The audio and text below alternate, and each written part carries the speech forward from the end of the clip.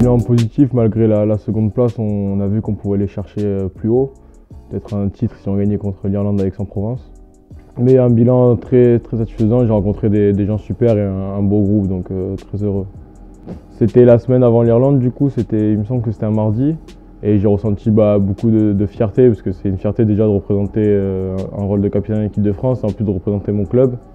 Donc euh, voilà, beaucoup de fierté, pas trop d'appréhension parce que j'avais déjà été capitaine, donc, euh, mais très heureux d'être capitaine de cette équipe de France pour ce match. On s'est entraîné avec l'équipe 1, on a fait une opposition à, quand ils étaient à Aubagne.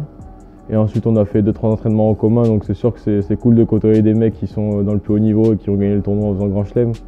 Et c'est des super, des souvenirs. Bah, J'en sors grandi avec, beaucoup d'expérience à retransmettre euh, en club pour, pour, essayer de jouer le plus de matchs possible avec l'équipe première. Ouais, oui, oui, oui, dans l'intensité et dans, dans, la vitesse de jeu, oui. Après, c'est des matchs bien plus serrés vu que c'est des matchs internationaux.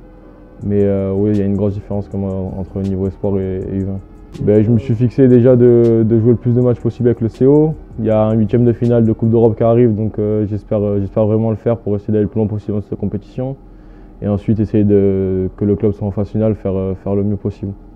Et personnellement, ça serait de, aussi avec l'équipe de France de faire la, tournée, euh, la tournée mondiale en, fin de, en fin de saison, qui sera en Afrique du Sud normalement, un tournoi mondial.